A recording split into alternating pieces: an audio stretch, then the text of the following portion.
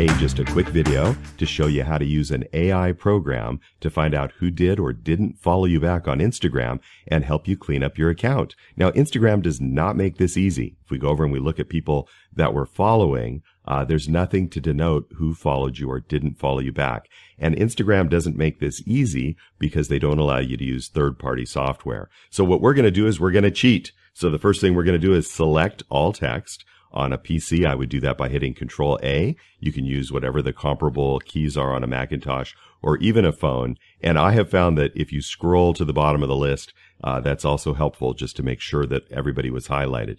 At this point, we're just going to copy. So you can right click and click on copy, or you can also hit just Control C for copy as well. So this is a list of people that we are following. So let's zip over to a word processor you can use any word processor and we will just paste that in place. So here we go. Paste. So here's all the people that we're following. Now it's a messy list because of course we captured all kinds of text which isn't part of the list, but the AI is smart and it's going to clean that up for us. So we will go ahead and let's save this file and we will do save as and we will call this um, following. I have it listed here as followers. So let's go following. And let's go ahead and save following. And we want to replace the file. And at this point, we can delete it because we have saved it to the disk. Now you actually can simply cut and paste that list of names directly into the AI if you'd like, but a lot of the AIs have smaller windows. And this account that I set up is just a quickie for the video. So I'm sure that like my other accounts, you're going to have a lot more than 22 followers. Uh, but I thought this would be handy for us. There's no posts or anything on this account just to streamline things. So we've now saved our list of people that uh, we are following. Let's go over to our followers list. We'll do the same thing. We're going to go ahead and select all the text. We're going to scroll to the bottom to make sure it all did get selected. We are going to copy it and we will copy it into the word processor. And this time we're going to save it, file save as, as we just saved following. So we will save this as followers. Okay, very good. And yes, we're going to replace the one that I already experimented to make sure this would work for you with. So let's head on over to our AI. So I'm just using ChatGPT. Any of the AIs should work as long as they allow you to upload a text file.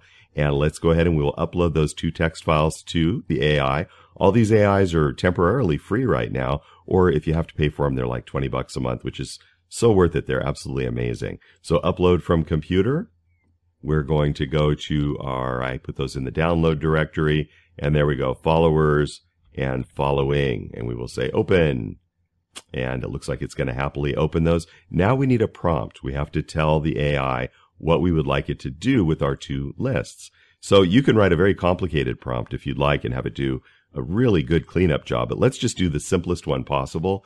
And we'll say, please create a list of all the names that appear on the list following, but do not on the appear on, on the list of followers. So that'll tell us who didn't follow us back.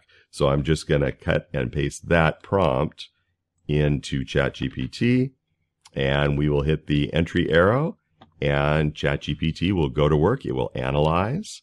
This is another reason that I made a, a, real small account is it actually can take it a while to analyze and clean up both lists if you've got several hundred names or several thousand names in your list. And kaboom, we get a list. These are people who I followed, but who did not follow me back. So I can simply cut those. Oops, let's do a better job than that. And I'm going to put those in the word processor now. And I'm going to go ahead and minimize the, not minimize, but I'm going to make the word processor small enough that we can see two things at the same time here. And we will head back to the Instagram account. And so all I need to do now, let's go ahead and do the same thing with the Instagram account, is now I can compare lists. So this part you still need to do manually, but it's very, very fast. So now I simply go to people who I am following. I look at my list of people who didn't follow me back. Let's confirm it. So I will say Catherine.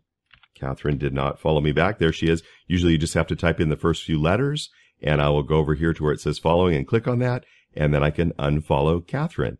So what this allows me to do is it allows me to go through and actually I don't know who Catherine is. So I'll leave her in here for now, But what this allows you to do is to just quickly, with a couple of clicks, go through your list of people that uh, you are following and trim out any of them that didn't follow you back or keep them if they're a celebrity and you didn't expect them to call you back. So that's the simplest way that I know of to get around the fact that Instagram doesn't allow you to use third party software. And yet you can use an online AI to get this done in a really short period of time. You can go through several hundred names and clean up your Instagram list.